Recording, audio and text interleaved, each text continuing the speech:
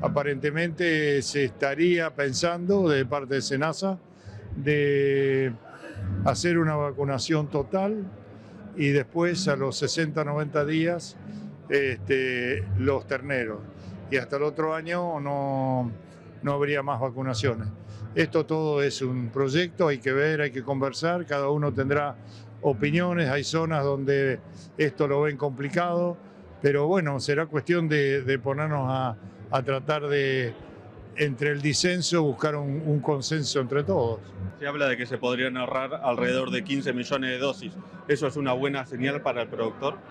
El tema, viste, siempre que uno pueda ahorrar eh, o dejar de pagar es bueno, pero eh, el tema sanitario es prioritario y, yo creo que tenemos que acordar eh, el sistema de vacunación donde los productores entiendan que la vacunación es una inversión y no un gasto.